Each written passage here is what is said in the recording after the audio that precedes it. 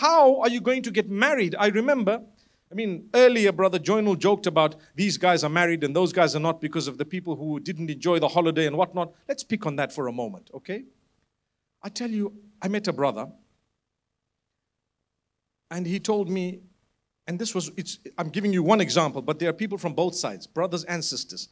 And you find people telling you, I'm looking to get married, and you meet so many people, I'm sure you would have someone uh, who would probably, you know, who you would think would be suitable. And I say, What type of a person are you looking for? Default, I need to know, right? Because everyone's got a different taste and a different, you know, type of person they're looking for. So they start rattling out things. Think for a moment, those of you who are not married, what are the qualities that you would love in a spouse? So you want A, B, C, D, E, F, G. Okay, let's say you want seven things.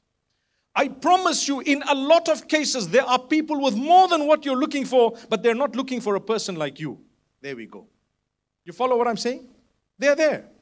You might know really beautiful, wonderful people who meet your criteria, but do you meet theirs? That's the question. Wallahi. And this is where we fail. That's the reason why you're not enjoying your holiday.